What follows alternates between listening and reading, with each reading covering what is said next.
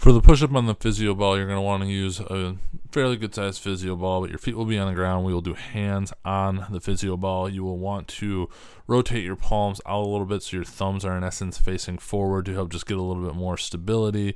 And then we are going to go through a slow and controlled motion of the push up while on the physio ball, as that's challenging the rest of our body to remain as stable as possible throughout the movement goal to keep it as straight as you can from your head to your heels throughout the duration of this exercise.